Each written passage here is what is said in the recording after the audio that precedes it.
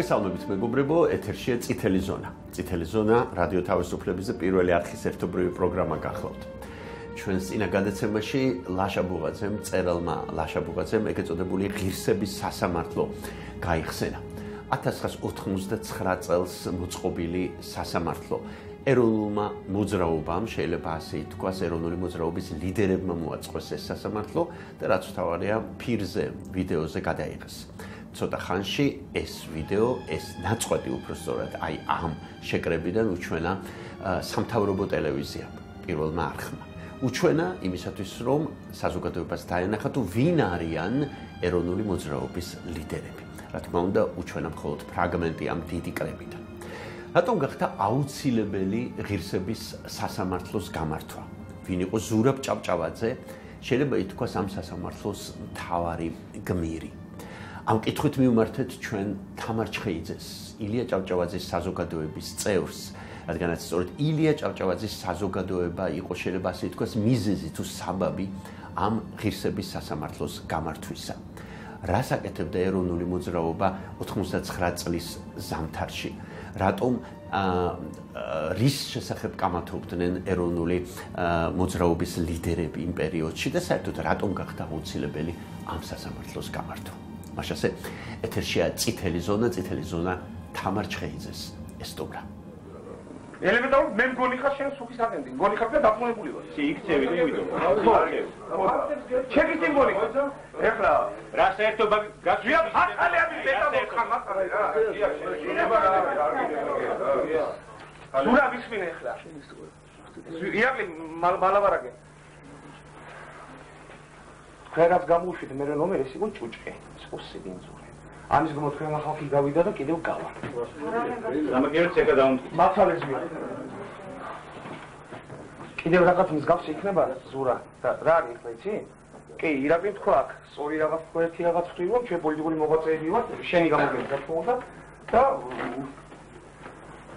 ამას ადგილი არ უნდა კონდეს ხო რა. აი მე შენ გაგიხვიდა შუბლს. ესმის? გაგიხვიდა შუბლს. მართალებო. კადრების ატვირთვის შემდეგ აჟიოტაჟი იყო საკმაოდ ისეთი გამოხმაურება მოყვა ხალხის და შემთხვევით ჩემო და აღმოაჩინა რომ ესე იგი ორი ორივე ვარიანტი იყო ატვირთული. როგორც ილია ჭავჭავაძის საზოგადოების მხრიდან გადაღებული, ასევე გოგა ხაინდრავას გადაღებული, რომელიც მეორე მხარეს წარმოადგენდა იმ შემთხვევაში. საინტერესო, ძალიან საინტერესო რამ აღმოვაჩინეთ, აღმოაჩინა უბრალოდ ეკამ, ეს იყო ის, რომ ესე იგი ის ცნობილი კადრები, რომელიც გაუშვეს კომუნისტებმა 99 წელს, იქ კონკრეტულად ჩანს ზურა, ანუ მამაჩემი, როდესაც გიაჭანტური ეუბნება იმ საოცარ ფრაზას გაგიხრიტავ შუბლს და ძალიან კარგად არის დაფიქსირებული, რამოდენიმეჯერ იმეორებდნენ, მონტაჟით იყო გაკეთებული ეს ფრაზა მეორდებოდა და აღმოჩნდა, აი ახლა აღმოვაჩინეთ სწორედ რომ და ყველას ეგონა პრინციპში უბრალოდ ყველას ეგონა რომ ეს კადრები რომელიც მაშინ კომუნისტების დროს გავიდა ეთერით ეს იყო ილიას საზოგადოების მიერ მიწოდებული კასეტა რადგანაც ნუ მოხდა სერიოზული განხეთქილება იყო გარჩევები დაასტურად იმისა რომ ილიას საზოგადოების გადაღებული კადრები იყო ამბობდნენ იმას რომ გოგა ხაინდრავა ჩანდა ამ კადრებში რომელიც გავიდა კომუნისტების დროს და ეხლა აღმოჩნდა ესეთი რამ, რომ ესე იგი ილიას საზოგადოების გადაღებული კადრები, რომ სრულად ვნახეთ, როდესაც ჭანტური ამას ეუბნება ამ ფრაზას მამას, იქ ზურა საერთოდ არ ჩანს. ანუ ჩანს რაღაცა ესე გვერდი, მოკლედ არ ჩანს. და ის კადრი, რომელიც ყოველას ძალიან კარგად გვახსოვს, არის ხაინდრავას გადაღებული. ამით რისი თქვა მინდა? არაფერს არ ვამტკიცებ, უბრალოდ ფაქტებია, ორივე ფირი არსებობს. და ყველა შეუძლია მის ნახვა ორივე ქონდა კგბ-ს მაშინ და ორივეს დამონტაჟების შედეგად არის ის მიღწეული ის რაღაცა სიუჟეტი მაშინ რაც გაიშვა და თავარი და მნიშვნელოვანი იყო ის რომ ხალხის ხალხისთვის დაფიქსირებული იყო ის რომ ილიას საზოგადოებიდან მოხდა ამ კასეტის მიწოდება თქვა და არ იყო ეს მეორე მხარე ამაში გარეული და მათ კარგად შეინახეს ეს კასეტა, მაგრამ ეს ესე არ ყოფილა, ეს შეიძლება მარტივად ნებისმიერმა ადამიანმა ნახოს და კიდევ რაღაც მსგავსი იქნება ზურა და რა გიხნეცი? კი, ირაკლი თქვა, სწორი რაღაც თქვა ერთი რაღაც ხრივ, ჩვენ პოლიტიკური მოღვაწეები ვართ, შენი გამოგვიყვება რა თქმა უნდა და ამას ადგილი არ მქონდეს ხო რა. მე შენ გაგიხუთა შუბლს. ესმის? დია. გაგიხუთა შუბლს. მაგ მაგ მასალე გოგა. ხო, მაფია არა არა. ყველაფერიც მანამდე გქონდა. გასაგები. შენ რა გაკრო რა ვიცი? ხარ მასალე იასონს ეგა. შეხარ შეხარ სუგის აგენტი. მასალე ჟია. შეხარ სუგის აგენტი. გამიგე შეხარ სუგის აგენტი. შენ შენ წამლავ ხალხს გამიგე? შენ წამლავ ხალხს. შენ შენ მე დაგიფიქრე შეგიძლია ოკა ოკა დამკიცებულია მაგრამ მე მგონი დამკიცებული აი მაგისტრი დავიშე გია მაგად რადგან გაგატრა და დამკიცებული ხა გაგატრა მე შენ საპირისპირო გაგატრა აი ეს სიტყვები რომელიც გიაგვითა უხარხული ვისები სასამართლოთი შეიძლება ითქვას ახალმა თაობამ რამდენადაც სამწუხარო არ უნდა იყოს ეს გაიცნო ზურაბ ჭავჭავაძე იმიტომ რომ დიდი ხანი თითქოს არაფერს არ ამბობდნენ მის შესახებ, შემდეგ გამოჩნდა ეს ფირი ინტერნეტში, არ ვიცი მეთანხმებით თუ არა და თანამედროვე გამოჩნდა და ახალგაზრდებმა ნუ პირველად ნახეს ეს კადრები. სტუდენტებმა მაგალითად ბევრი გაოცებული იყო საერთოდ, თუმცა მე მახსოვს, რომ მოამბე რომ უჩვენებთ ამ კადრებს სხვა მიზნით, პროპაგანდის მიზნით. საიდან გაჩნდა თქვენი აზრით ეს ვიდეოები? თქვენ როგორი რეაქცია გქონდათ, როდესაც ნახეთ? იცოდით რომ არსებობდა, რა თქმა უნდა, მაგრამ ამ გადაღების ისტორიაზე მაინტერესებს. თავის დროზე საიდან გაჩნდა თუ თავის დროზეც და ახლა? თავის დროზე და ახლა. და ახლა რატომ გაჩნდა? ალბათ ამაზეც კი ფიქრიათ. ვერ ვიხსენებ ზუსტად რა დღეები იყო ის, როცა ეს გაჩნდა და როცა ეს გავრცელდა, გავრცელდა ინტერნეტში. რა დღეები იყო, აღარ მახსოვს ეს რამდენი თვის წინ იყო. რაღაცას დაემთხვა, თუმცა მნიშვნელობა არ აქვს. თავარი ისაა, რომ ძალიან ბევრი მოთქვა, რომ ამ ვიდეოებით რაღაცნაირი დისკრედიტაცია მოხდა ეროვნული მოძრაობის. მე ვფიქრობ, ყოველ შემთხვევაში მიზანი ნამდვილად ეგ ქონდა. ისევე როგორც თავის დროზეც, ეხლაც იგივე ობიექტივმა აიტაცა დიდი სიამოვნებით რაღაც კომენტარებიც გააკეთეს და ნუ მოკლედ ჩანდა რომ აი ასეთი ასეთი ფონი შექმნა უნდათ რომ აი ესეც აი ასეთები იყვნენ და ასე შემდეგ. ასეთ ასეთები იყვნენ ეროვნული მოძრაობის ლიდერები. ხო, ვფიქრობ ამისთვის. ეს კასეტა არის მოპარული. ეს კასეტა არის კრიმინალური გზით მოპოვებული. მიუხედავად იმისა, რომ ეს აკვირთა ზაქარია ლაშქარაშვილმა, ეს კასეტა არის მოპოვებული უკანონოდ სპეცსამსახურების მიერ. სხვადასხვა ამ შეხვედრის ჩვენებას კიდევ ცალკე ისტორია აქვს. მოგეხსენებათ, რომ მეორე დღეს აღმოჩნდა ერთ-ერთი ფირი ამ შეხვედრისა გადაღებული ფირი უშიშროებაში და სწორედ ის ფირი იქნა გაშვებული მაშინ თავის დროზე საბჭოთა ტელევიზიით, ხოლო ეს ფირი ამ 26 წლის განმავლობაში იყო შენახული ერთ ადგილას, რომლის ადგილსამყოფელი ვიცოდი მხოლოდ და მხოლოდ მე. აქედან გამომდინარე, ვადასტურებ, რომ ეს არის უკანონო გზებით მოპოვებული ეს არის დაჟჯადი ქმედება, ეს არის კრიმინალური ქმედება და მედიაში გავრცელებული ჩემი განცხადების საფუძველზე პროკურატურამ უნდა აღზრას საქმე, ყველაფერს თავი დავანებოთ პირადი ქონების ხელყოფაზე ფაქტიურად ამ შეიძლება ითქვას რომ გამეორდა ის რაც მაშინ მოხდა, როდესაც კომუნისტურმა ტელევიზიამ, სახელმწიფო ტელევიზიამ უჩვენა. ეს კონტექსტით უჩვენეს ეს ხო ძალიან სამწუხაროა. ესე იგი ამდენი ხანი არაფერი არ შეცვლილა, გამოვიდა ამ პირიქით დაუბრუნდის ძველ დროში. ხო, რაღაც ფორმები იცვლება, მაგრამ არსი რა თქმა უნდა ეს ზოგადად უღმართი პროცესები საქართველოში სულ არის გრძელდება. ფორმები იცვლება რაღაც პიროვნებები ფორმები და ეს შეფასებაც ხომ ბუნებრივი არის. ვინც არის ის კონტექსტი ვინც არის ის ამის მიღმა რა ხდებოდა ვინც არის ის რატომ ხდებოდა ეს ყველაფერი ახალგაზრდები რომლებიც ამას უყურებენ. ესეთ სასიამოვნო საბჭოთილება არ დარჩებოდათ ხო მეთახმებით თუმცა მე თავიდანვე ასე აღვიქრო დისკრედიტაციისთვის იყო. თუმცა ბევრი ამტკიცებს ისინიც ვინც პირველად ნახა და ისო ძალიან სიმპათიით განეწყვენ იგივე პირიქით სიმპათიით განეწყვენ ზურა ჭავჭავაძის მიმართ ამის შედეგად. აი ამ ფილმის ნახვის. უფრო აღიქვეს თქვათ არსი აი ამ ვითარების რაც მაშინ იყო. აი ძალიან ბევრის რეაქცია ასეთი იყო ვინც. თვითონ და აგებს აგენტი ჭორი და შესაძლებელია ზვიად ეს იყოს ჭორი. შესაძლებელია ეს იყოს ჭორი, რომელიც გავცელა სხვათ გავცელა ეს ჭორი იგივე სხვათ აგებს, ხო?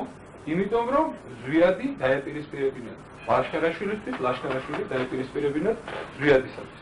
შესაძლებელია ლაშქარაშვილმა ლაშქარაშვილი წამოეგო კგბ-ს გავრცელებულ ჭორს. დიახ. ახლა მე ესე ვსვამ საკითხს. ეს ჭორი რომ გავრცელებული არის დასავლეთ მე არ ვამბობ ჯერჯერობით რომ გავრცელო მართლა სულადმა თუ მისმაცემა. ეს ჭორი როცა არსებობს ქართულ ემიგრაციაში ვენდოთ ამაზე აი ამ წერილს რომელიც ჩვენ წავაკეთებ ლაშქარაშვილმა და მოიწერაო ამას აქვს იზღირებულება თუ არა რომ ესეთი ჭორი დასავლეთში მართლაც გავცელდა ვითომ ზვიადმა და მისმა მეუღლე გავცელეს ბევრი ჭორები ხდება ბევრი ჭორები ხდება მაგრამ ჭორი რომ მართლა გავცელებულია ვენდობ თუ არა ლაშქარაშვილი? თუ ლაშქარაშვილი არის ისეთი პიროვნება თქვათ იგივე შეაფასოს ეს ამბავი. თუნდაც იგივე ამ შემთხვევაში ზვიად გამსახურდია რომ ლაშქარაშვილმა შეიძლება ლაშქარაშვილს შეიძლება მოეგონებინა თქვა ლაშქარაშვილს უთხრეს და ეს მართალი არის რომ ზვიადის ცოლი რაც აგიკითხეთ ფერგეში ყოფნისას ამბობს რომ მე ვარ ჩეკისტია შეიძლება ლაშქარაშვილს ეს მოეგონებინა ზვიად თუ შენ ფიქრობ რომ ესე იგი მას დახდა ეს და ეს იყო ჭორი შენ ჭორი მეუტანეს ჭორი მეუტანეს თვითონ ხომ არ მოიგონებდა შენ როგორ ფიქრობ შენ როგორ ფიქრობ რატო შეგიძლია რატო მე ვერ ვაგე მე ზია აცალე რა შეიძლება ვაგე მე ვაგე პასუხს შენ თავზე და მე ზაქარიაზე პასუხს მე ვერ ვაგე მოიგონა არ მოიგონა არ ვიცი მე ვიცი რომ ეს არის ჭორი და თქვენ ვიარებს ჟურნალში ეს ვიცი რატო გადაიხეს გადაღებით პრინციპში შეთანხმებულად მოხდა ამის გადაღება ორი მხარე იყო იქ დაპირისპირებული და ამაში შეთანხმებული ვიყავით რომ ეს უნდა გადაღებული იყო. კი ეს ფარულად ცხადი არ ხდებოდა და შეთანხმებული ვიყავით რომ იღებდა ორი კამერა მუშაობდა ოფიციალურად ყოველ შემთხვევაში მესამე ფარული იყო თუ არა მაგას ვერ გეტყვით. ორი ოფიციალურად იღებდა და შეთანხმებული ვიყავით იმაზეც რომ ეს არ უნდა გავცელებულიყო ხოლოთ ასე რომ ვთქვათ, ყოფილიყო დარჩენილიყო არქივისთვის. და საღამოს უკვე აჩვენა თუ არცდები მოამბე. აი, სამწუხაროდ არ მოხდა. მაგრამ მალე აჩვენა. აი, ხო, მალე, ოღონდ აი ეს დრო არ მახსოვს. და მაშინ მიხვდით, საიდან შეიძლება და ხელისუფლება ჩავა. ეს რა ვარაუდები იყო უბრალოდ, იმიტომ რომ იქ ისე იყო ნაჩვენები, რომ ერთი იღებდა გოგა ხაინდრავა და მეორე იღებდა ხე მისახელი და გვარი არ ვიცი რაც მაწვილი იყო და ისე ისე ჩანდა ის რომელიც აჩვენეს რომ გოგა ხაინდრავა თვითონ არ ჩანდა შიქ თუ რაღაც მოკეთ ვივარაუდეთ რომ ეს მეორე ვერსია იყო. მაშინ ესე ვივარაუდეთ და მე მახსოვს ამოჭრილი იყო და ძირითადად აქცენტი კეთდებოდა იმაზე გაგიხრიტავ შუბს. თუ გახსოვთ მაშინ აჩვენეს ამას იმეორებდნენ მოდევად გაგიხრიტავ შუბს რომ ეჩვენებინათ ესე იგი როგორი იყო ეროვნული მოძრაობა. რატო გახდა საჭირო ამ სასამართლოს გამართვა? მე რამდენადაც ვიცი ჭავჭავაძის საზოგადოებამ მანამდე გავრცელა წერილი. თუ არ ვწდები და ეს იყო ვითომ პასუხი ამ წერილზე ასე იყო მართლა. პასუხი კი არ იყო წერილზე პირიქით წერილი იყო პასუხ წერილი თვითონ რომელიც დაიბეჭდა ჩვენს ჟურნალში იყო პასუხი იმ ინფორმაციაზე უბრალოდ ცილისწამებაზე რომელიც აი ესეთი მიდრეკილება იყო იმ ჯგუფის ესე იგი გამსახურდია ჯგუფის პირობითად რო ვთქვათ.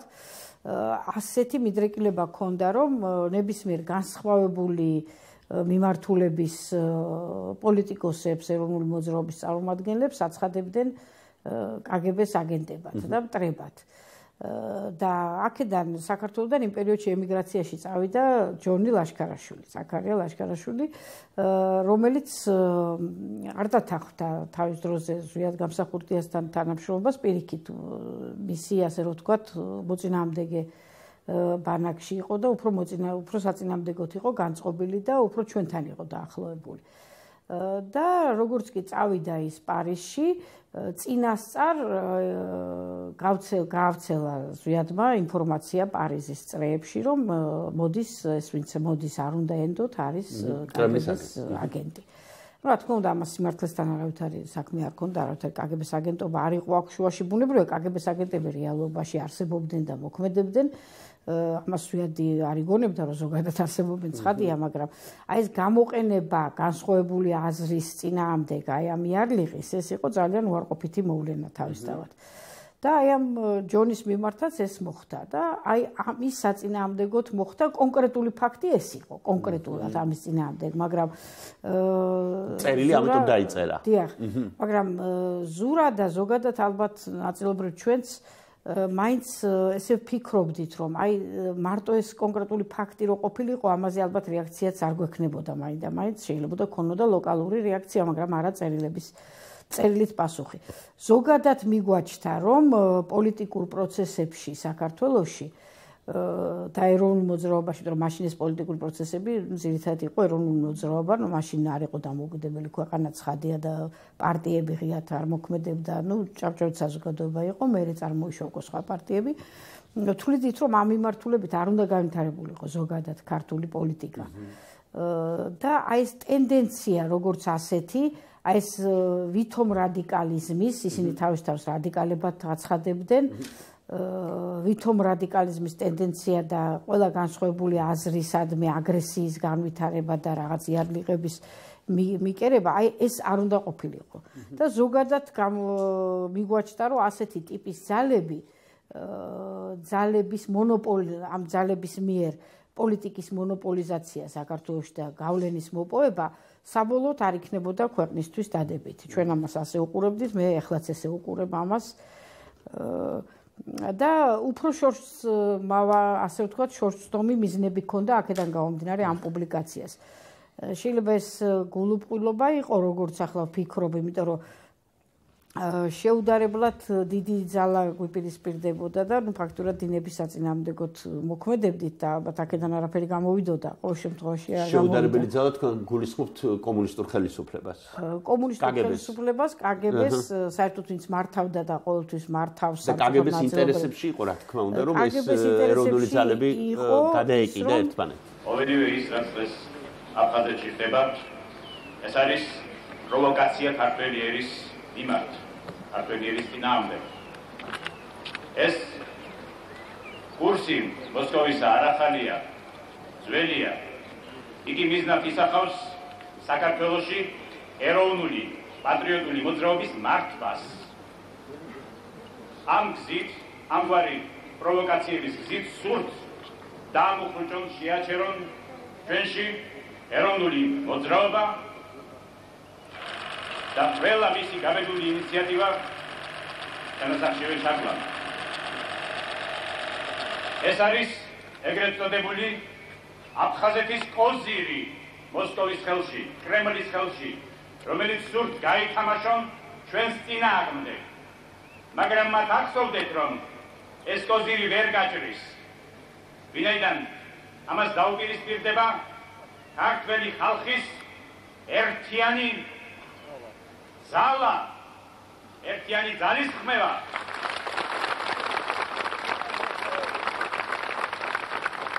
ენი ქართველი ერიდა. ჩვენ მოქმედებ პრინციპით ცნობილი ქართული ანდაზის პრინციპით სიბრძნე ებრძვის სიბრიყვესა უთობოდ და უზარდასნო ერთი გადაკიდება ერთმანეთის და მე მეორე რომ ამ საერთოდ ზოგადად პოლიტიკური პროცესები წარმართულიყო უფრო აი აგრესიის არარაციონალური და არაკონსტრუქციული გზით, იმიტომ რომ ეს საბოლოოდ დააზიანებდა საქართველოს დამოუკიდებლობის საკითხს და შემდგომ განვითარებას უკვე თუ დამოუკიდებელი გახდებოდა საქართველოს ნორმალურ მოკლედ პროცესების ნორმალურ კონსტრუქციულ განვითარებას ხელს შეუშლიდა და წარმართულეს წარიმართებოდა აგრესიის მიმართულებით სხვადასხვა ჯგუფების მიმართ აგრესიის და ერთმანეთის წინამდებ აგრესიის ეს რა თქმა უნდა კგბ-ს აწყობდა.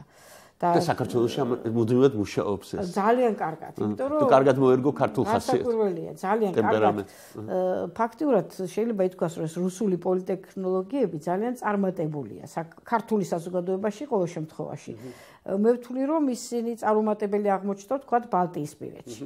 არა მარტო იმიტომ რომ მათ საწყისი პირობები უკეთესი ქონდათ ზოგადად იმიტომაც რომ ქართული ესე მენტალიტეტი იმ საზოგადოების სხვა არის იქ უფრო წინ წამოწეული იყო ჯერ კიდე მაშინ პრინციპები და ფასეულობები და არა ბელადომანია. დიახ, და რაციონალიზმი და არა ემოციები. გასაკურველია და არა ბელადომანია. თქვათ რომ მაგათაც რუსეთს არ შეეძლო რომ იქ რომელიღაც ერთი ბელადის ჭკუაზე ეტარებია საზოგადოება. იმიტომ რომ რუსეთს შეიძლება რომ ერთი ბელადის ჭკუაზე ატარო ეს ყოველთვის ბევრად ადვილია, ვიდრე მთელი საზოგადოება, რომელსაც გაცნობიერებული აქვს თავისი მიზნები, ის მართო. უწმინდესო და უნიტარესო ძვირფასო ქართველებო კალბატონებო და ბატონებო უფლება მომეცით მოგესალმოთ ლატვიის სახალხო ფრონტიდან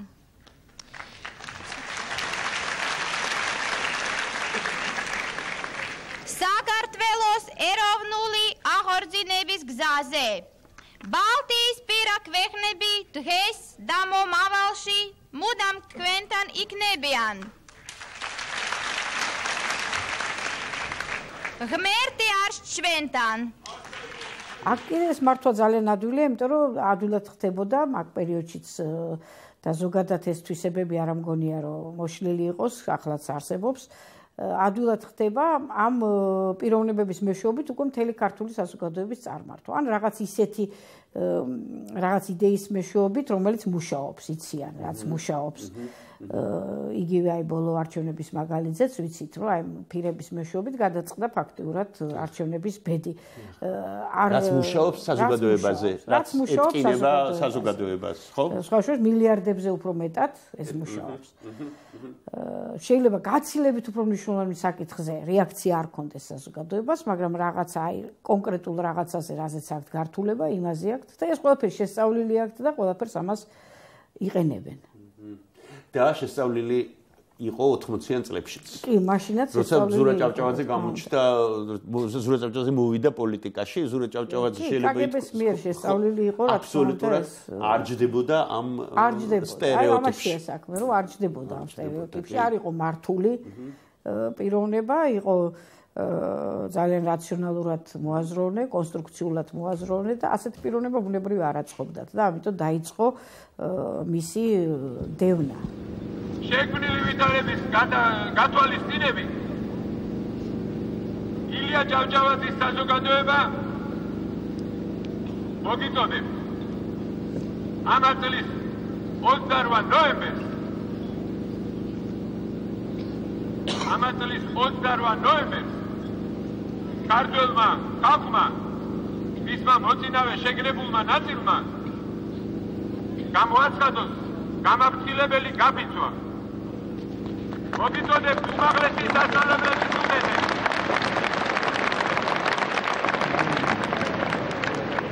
მოგიწოდებ უმაღლესი სასწავლებლების სტუდენტებს. მოგიწოდებ ქართული ინტელიგენციის წარმომადგენლებს. მოგიწოდებ მუშებს ყველას და არა მარტო თბილისის დედაქალაქის მაცხოვრებლებს, არამედ სრულიად საქართველოს მოსახლეობას. და ამ დროს ხდება ხოლმე ესე იგი დევნა ორი მხრიდან, ერთი ხელისუფლების მხრიდან და მეორე შიგნიდან. ყველაზე რთული იგი იყო, რასაკვირველია, სახელის გატეხვაზე მუშაობა, დისკრედიტაციაზე მუშაობა. საინტერესოა რა შეიძლება და გამختارიყო უშუალოდ ამის მიზეზი. ჩემი აზრით ერთ-ერთი ყველაზე საინტერესო ზურა ჭავჭავაძე ყველაზე საინტერესო იყო მაინც აფხაზებთან და ოსებთან ურთიერთობაში. ისე როგორც სხვა საკითხებში ძალიან საინტერესო იყო რა თქმა უნდა. განსაკუთრებით ხო ამ საკითხში. ვერ ხავ არასდროს არ გონი ერთმანეთის სიძულვილი. მედის ქართველებსა და აფხაზებს შორის საუკუნეების მანძილზე იყო მხოლოდ ძმობა, მხოლოდ ნაზისაობა და მოგრობა. და აი ეს დამოკიდებულება ქართველებსა და აფხაზებს შორის ბატონებო შექმნილი არის უცხო ძალის მესამე ძალის რუსეთის წარევის შედეგად. სანამ რუსეთი შემოვიდოდა ამიერკავკასიაში ქართველსა და აფხაზს კლავი მეორე სიყვარულის მეტი არაფერი არ აკავშირებდა. ხოლო შემდეგ რა მას შემდეგ რაც შემოვიდა დამპყრობელი დაიწყო ნაცადი. ჯერ კიდევ ალექსანდრე მაკედონელის მიერ დაგადაგები პოლიტიკის დაგავიდა იბატონის პოლიტიკის გატარება და დაიწყო მკვიდრი მოსახლეობის ქართველთა და აფხაზთა ურთიერთს დაკიდება. რა არის ამის მიზანი? ამის მიზანი დღესავის ნათელია. დადა ნაცვლად იმისა, რომ აი მე ვთქვათ ჩემ სიტყვას და გაცნობებ რომ აი ჩაჩკან მუკარატიანი ჯვაროსნები ხალხი რატოა გადარბიან და იკავებენ ლენინის მოედანს. ეს ჯანები არის შემოყვანილი მაგრამ ნუ შეგეშიდება ჩვენ გვაქვს მეჭარებთან ურთიერთობის გამოცდილება. თუ გეგმა არსებობდა იმის რომ უნდა ომი დაწყებულიყო ის რომ უნდა ეს კონფლიქტი გამძაფრებულიყო და ამ დროს ეროვნულ მოძრაობაში არის ადამიანი რომელიც ამ გეგმას ხო ადამიანს ის უნდა მოიშვა და ხელს უშლის. ეხლა რაში იყო საქმე ესე იგი ზურა ჭავჭავის მიმართულება ამ ხრივ რა იყო და ნუ ჩვენ საზოგადოებისაც შესაბამისად იყო ის რომ ეს ორი დამღუპელი ტენდენცია არსებობს. ერთი ის რომ ესე იგი ხელი შეეწყოს ზოგადად ანტიქართულ ძალებს. მოხდეს მათ დამის სრული დათმობები და ანტიქართული პროცესების წახალისება ეს ერთი მიმართულება. რასაც რასაც აგრეთვე ხელს უწყობდა და მეორე ვითომ საპირისპირო ვითომ თორე სინამდვილეში ესეც იგივეზე მუშაობს. ვითომ საპირისპირო გაღვივება აი ამ ესე იგი კონფლიქტის ზურა ჭავჭავაძის მიმართულება იყო ის რომ ერთი რომ გაენეიტრალებ ერთი მხრივ დაცული ყოფილიყო ქართველების უფლებები დისკრიმინაცია არ ყოფილიყო დაცული დაშვებული ამისთვის გაგვეწია წინააღმდეგობა მაგრამ ეს მომხდარი იყო ისეთნაირად რომ ამას არ გამოეწვია დაპირისპირება აფხაზებთან და ოსებთან პირიქით მათთან მუშაობის მომხრე იყო, ანუ პარალელურ რეჟიმში და მუდმივი შეხვედრების და პირიქით მათთვის ახსნის, რომ ეს მესამე ძალა არის დაინტერესებული ჩვენ შორის კონფლიქტის გაღუების, ჩვენ პირიქით თუ კი თქვენ გაქვთ რაიმე ისეთი პრობლემები, რომელიც წმინდა ნაციონალურია, კულტურულია, ამაში ჩვენი მოძრაობა პირიქით არამც თუ არ დაგიპირისპირდებით, პირიქით ხელს შეგიწყობთ ყოველ მხრივ. იგივე თქვათ აფხაზურ ენაზე სწავლა თუ გინდათ რომ ენა არ დაიკარგოს თქვენი კულტურა და ამასაც ჩვენ ყოველნაირად ხელს შეგიწყობთ. მაგრამ რა თქმა უნდა აი ეს მიმართულება სრულიად მიუღებელი იყო ხელისუფლებისთვის რომელსაც აწყობდა ერთი მხრივ ქართული მოსახლეობის ჩაგურის გაგრძელება რომელიც ჯერ კიდევ კომუნისტურ ეპოქაში იყო ეს მიმართულება და მეორე მხრივ აწყობდა კონფლიქტის გადასვლა უკვე ძალადობრივ ძალადობრივ რელსებზე.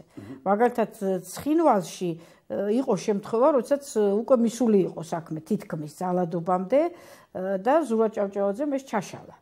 პირდაპირ პირდაპირ მნიშვნელობით ხო ჩავიდა შეხვედრა მოხდა სად უნდა შეხვიდე სად შეგიყვანე ხლა ჩაუნები და დავალეს მეუნები და სიცხვით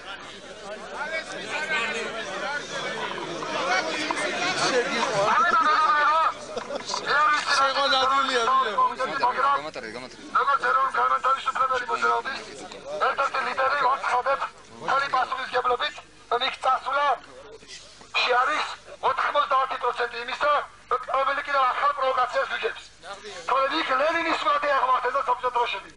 ავიდა იქ წასულა მობრუნდათ. აქ აქ დარჩებია ხალხი და დარჩენილია ის ხალხი ვინც ახლა დაიწყო.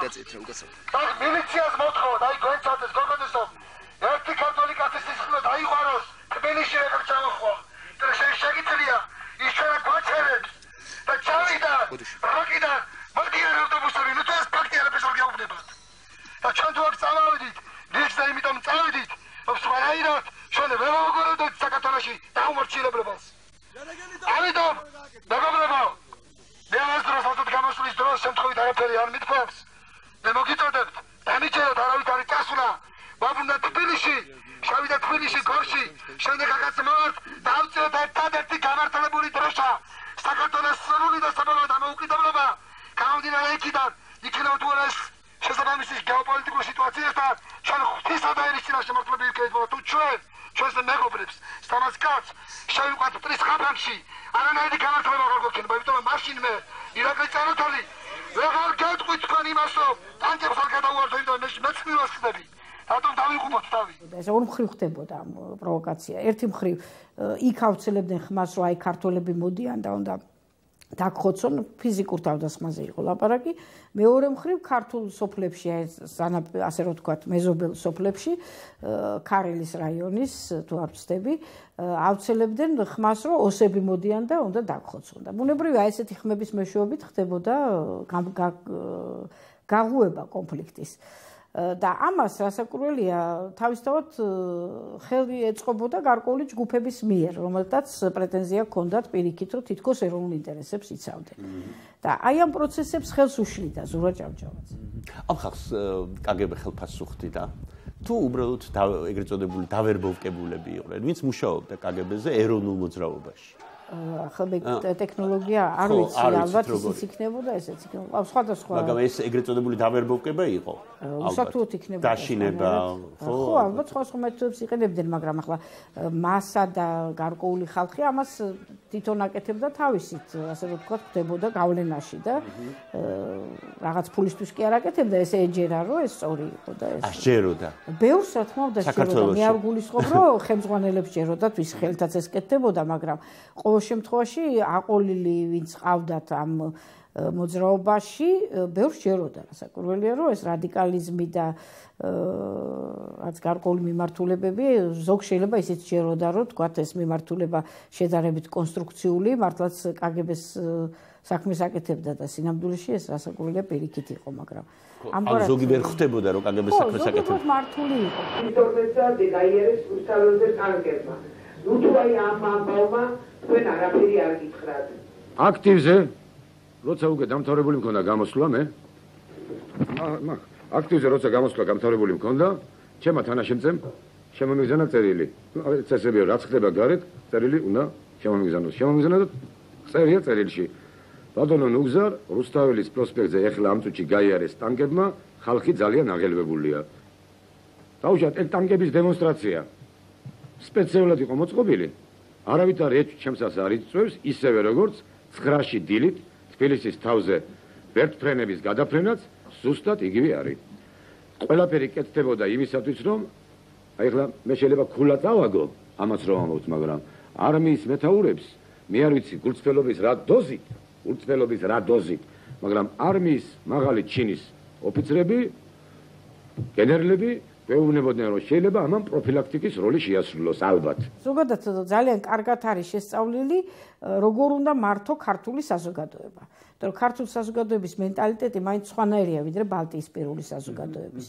და რაზე მოქმედებს, რაზე ადვილად შეიძლება თეატრალიზებული რაღაც წარმოდგენების მეშვეობით მართო რაღაც რაღაც სქემის მიხედვით მარტო ეს ძალიან კარგად აქვს შესწავლილი. რატო ვერ იმუშავეს ბალტიისპირეთში ასე კარგად?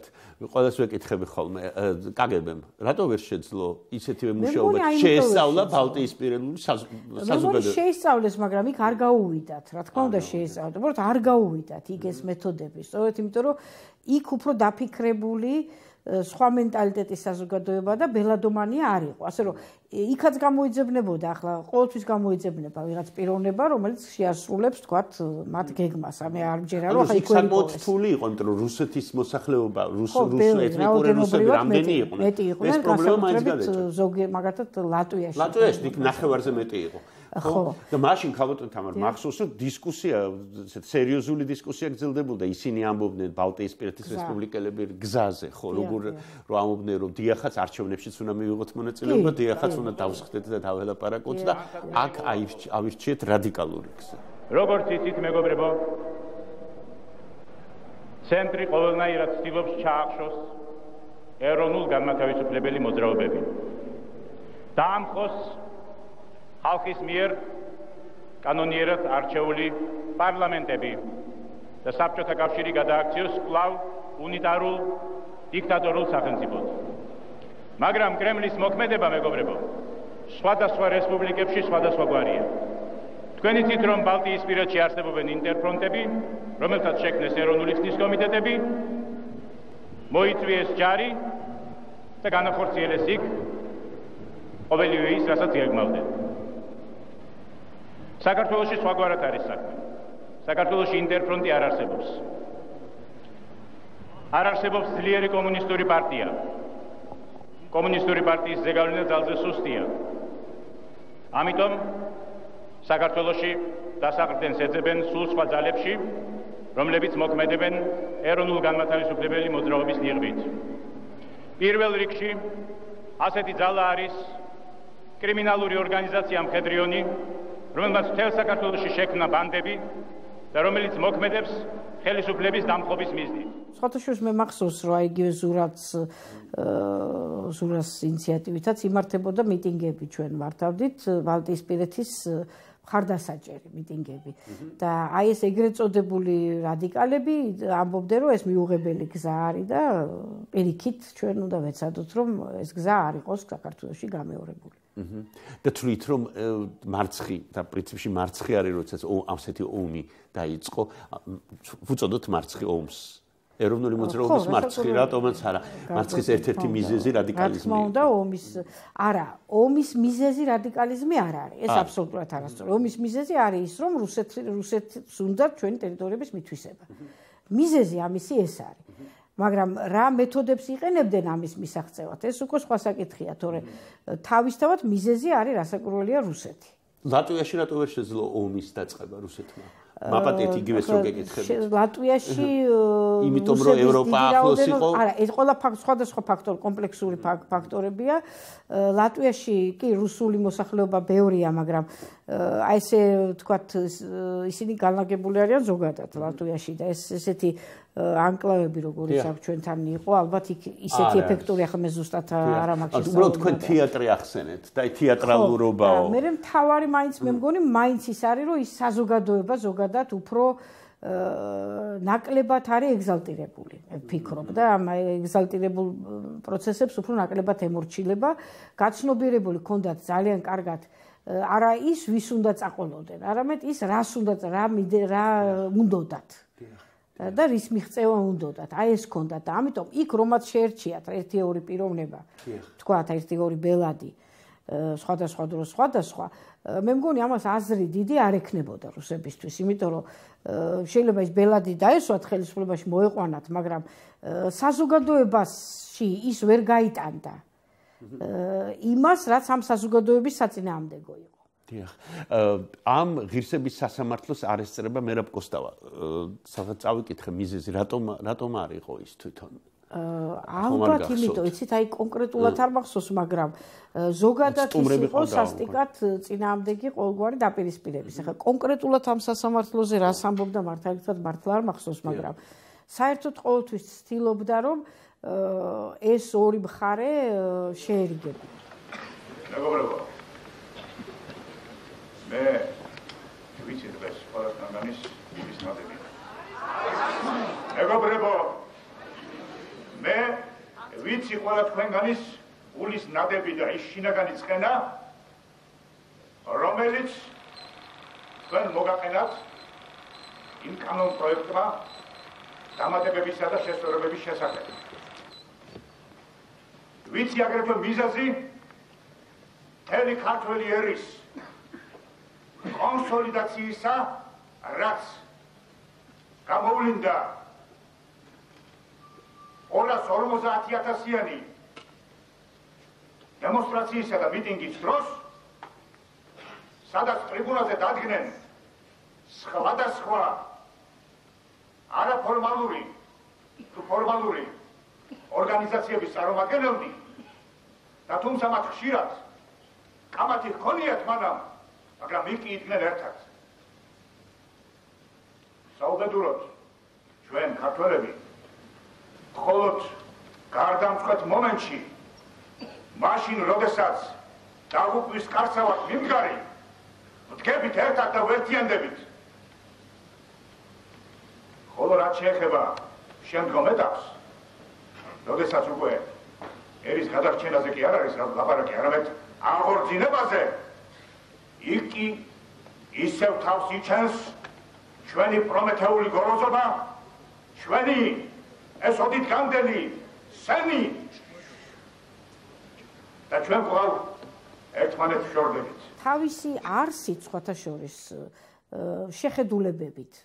საკმაოდ მიუხედავად იმისა, რომ თქვათ ის რადიკალად გამოიყურებოდა, ასე რომ თქვათ. მიტინგებზე კი. ხო, და ნუ ესეც ძალიან ემოციური გამოსვლები ქონდა და ასე შემდეგ და ძალიან პრინციპული იყო მართლაც პრინციპულ საკითხებში.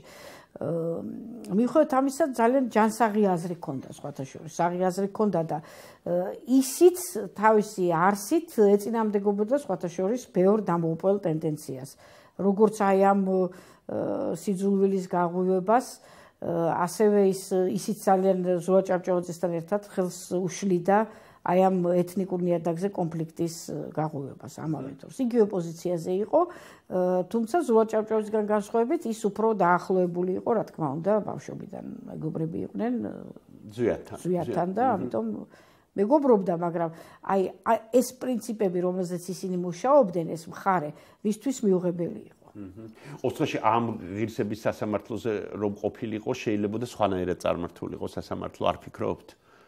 არ ყოფილიყო ასეთი რადიკალიზმი თვითონ. ალბათ, ხო, ალბათ იქნებოდა, არ ვიცი, მაგრამ მან მიუღებელი იყო საერთოდ. კიდევ ძალიან მნიშვნელოვანი ფიგურა არის აკაკი ბაქრაძე, მაგ მაგ კადრებში, აი და კარგად ჩანს, ლაშა ბუღაძე თქვა, რომ კარგად ჩანს ვინ ვინ არის, ანუ როგორ განვითარდება შემდეგ ქართული საზოგადოება არის ის ხალხი, ვინც აკაკი ბაქრაძეს გაყვება, ის ხალხი, ვინც გამსახურდიას გაყვება, აი ეს ფენები ჩანსო პირდაპირ და პრინციპში ვეთანხმები კიდეც, მაგრამ აკაკი ბაქრაძე აკაკი აკაკი ბაქრაძის ასე ვთქვათ დისკურსი პრინციპში არ მიიღო ქართულმა საზოგადოებამ ბოლომდე. შეგვიძლია ასე ვთქვათ. კი შეიძლება ეს იგი რუსეთის საკითხია იმიტომ რომ ეს რაციონალიზმი არ უნდა ხო უნდა ხო უმეტეს შემთხვევაში რაციონალიზმი არ უნდა. სამწუხაროდ ეგ თუ ერთმანეთს რაიმე ბრალს ვდებთ მაშინ ეს კაფიოთ იურიდიულად უტყვარად დავასაბუთოთ. სხვადასხვა ვაპატიოთ რა. და მეორე მხარეა კიდე. თქვა დაუშვათ თქვა ვიღაცამ რაღაც ხომ თუ ჩვენ არ მოვახერხებთ ის რომ ერთმანეთს რაღაცა ვაპატიოთ, რაღაცა შევუნდოთ, ყველაფერი. მაშინ რა გამოვა? რა გამოვა მაშინ? ახლა ყველა ჩვენთაგანი მეტნაკლებად თქო რაღაცნაირად იმის გამო რომ წარსულში ქრისტიანები ვიყავით, ვცდილობთ ამ მოძღვრებასთან რაღაცა კავშირი გქონდეს. რა გამოვამჟღავნეთ დღეს ჩვენ ერთმანეთს მიმართ ქრისტიანობა? რა გამომჭამეთ ეს ერთმანეთს? ეს პასაკითხია, მაგრამ თქვენ მაინც ესე გითხრით, რომ იურიდიული თვალსაზრისით არ არის დასაბუთებული. ორჩი მეორე. კი ბატონო, კიდე გავიმეორე, ამასულად მკაფიო. კიდე გავიმეორე, ისევე ვერ დასაბუთდა ის, რომ ზვიად გამსახურდიან იმას უწოდა მართლა ჩეკისტი, როგორც ვერ დასაბუთდება ის, რასაც ამბობს გეჭანტურია, ზურაბის მინა. არა მარტო ინგლისური. არა მარტო გია. ნუ ახლა შესაძლებელია სხვა. ბატონო გურა, ბატონო გურა მიგეშიცილებე. ბატონო გურა, ერთს მოგზანდი, თქვენი ნეიტრალური კაცი ბზანდები. თქვენი სიტყვა გითხარით რა. ეს ხშირად ამობე ხოლმე, რომ ნუ ეს როგორი პოლიტიკური პარტია ან როგორ მათ არ აყავთ ლიდერი. აი ლიდერი ყავთ, აი ლიდერის მოთხოვნილება დღემდე ხო არის რა. მოთხოვნილება არის საერთოდ და ეს ერთ-ერთი დამღუპული ტენდენცია რა. ჭავჭავაძის საზოგადოებას არ ქონდა ესეთი სურვილი რომ ლიდერი ყოლოდა და დამორჩილებოდა ამ ყოველ შემთხვევაში ის ყოფილიყო გამსაზღვრელი. არა, ეგ იმდენად არ გქონდა ეგ სურვილი, რომ სხვათა შორის თავმჯდომარის მე კი არ ვამტკიცებ, რომ ეს ასე უნდა იყოს და არ უნდა არსებობდეს თავმჯდომარის პოსტი, მაგრამ იმდენად საერთოდ წინამდეგი ვიყავით ამ ლიდერის ფენომენის და ბელადომანის, რომ იყო გამგეობა და დღემდე ასე არის.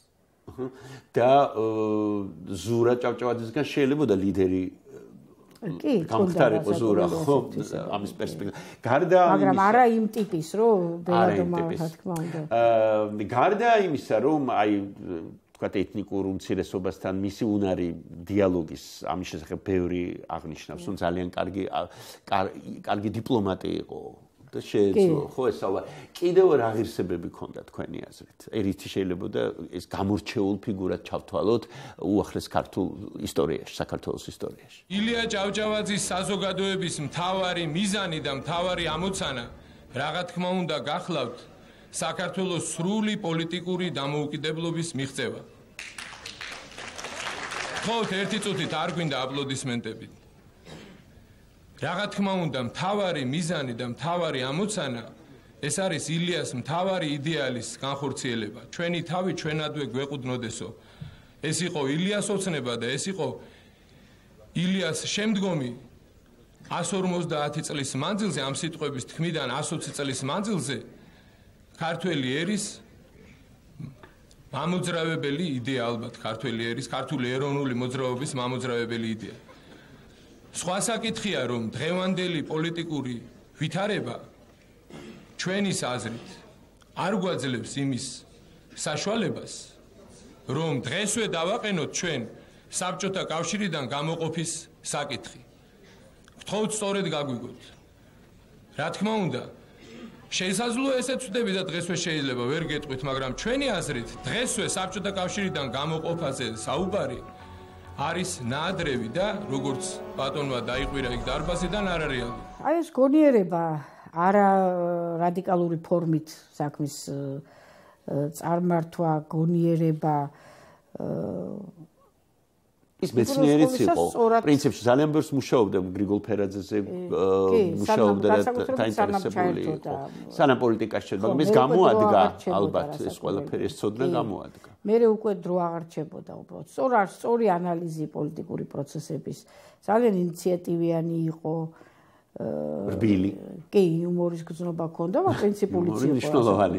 ძალიან მნიშვნელოვანია ყველა შემთხვევაში. მე მაინტერესებს ეს უბრალოდ ახალგაზრდა გონიერი ადამიანი იყო რაც თორია და მისი მამოძრავებელი რაც ზოგადად არის ქართულ პოლიტიკაში არის რისი დეფიციტი ინტელექტის და აგრეთვე პრინციპულობის და მამოძრა ამოძრავ მოტივაცია ადამიანის.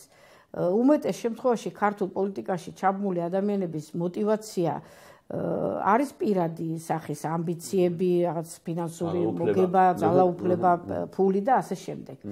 ამ ხრივ აი ზურაც სხვა შორის ეს იგივე თქმის მერაბზეც ამათ ეს мотиваცია ნამდვილად არ ქონდათ. ამის გამო არ იყვნენ პოლიტიკაში ჩართული. მართლაც ჯეროდათ რომ ამას აკეთებდნენ საქართველოსთვის და ქვეყნის ნორმალური განვითარებისთვის და თქვა ცუდი ტენდენციების პირიქით საწინააღმდეგოდ მუშაობდნენ.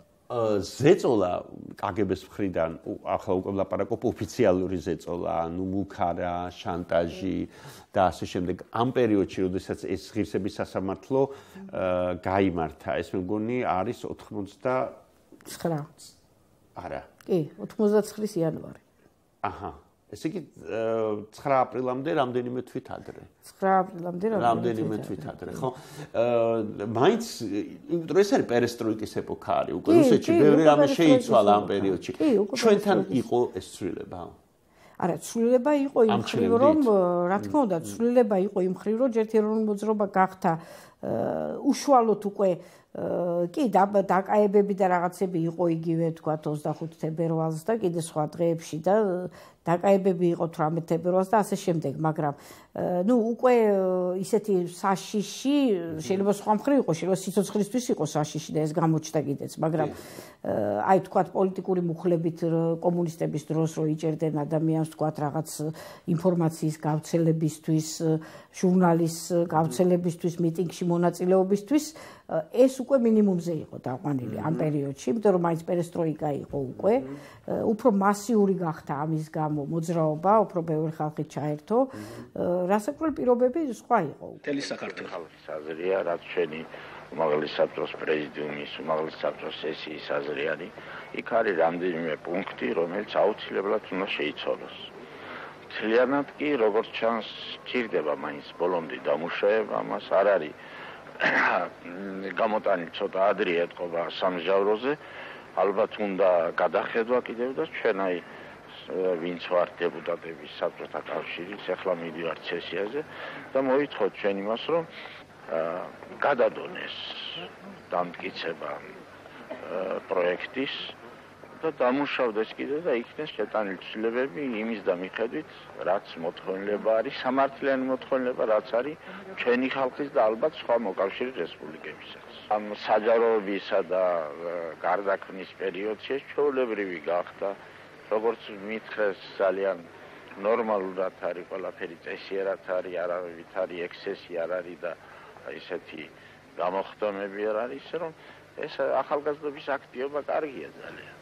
კარგია, როცა სასიკეთოდ არის მიმართული მოსკოვიც გაუწევს ანგარის საერთო მოთხოვნილებებს და ჩვენი ახალგაზრდობაც დაკმაყოფილებელი იქნება ისე როგორც ჩვენი ხალხი მთლიან. როდის შეიცვალა დაახლოებით თქვენი აზრით სიტუაცია? ჩვენთან ხო პერესტროიკამ დააგვიანა? ხო არ არ მახსოვს. დააგვიანა ოდნა შეიძლება არ დააგვიანა?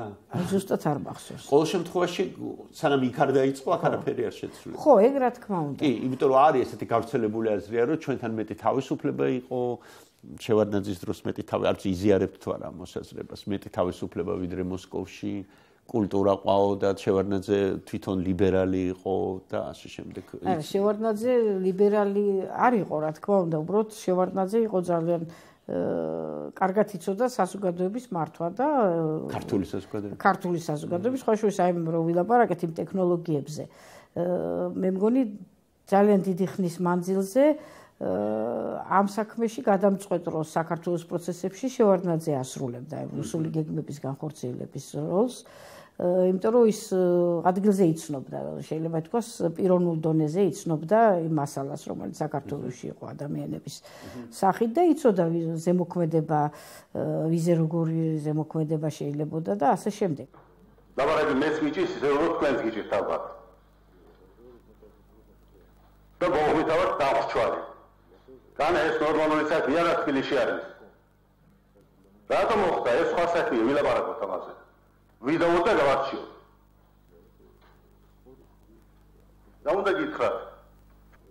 მე საერთოდ გულწრფელი ვიყავ, როცა ვთქვი, რომ მე ეს კაცი არა ვარ, ალბათ რა 3 წლის წინ ან 4 წლის წინ ვიყავ. ალბათ 3-4 წლის წინ ეს დიალოგიც არ შედგებოდა, შეიძლება, თუმცა იყო ასეთი წვალე შეხვედრებიც და ხანდახან პრომწვალეც იყო ხოლმე.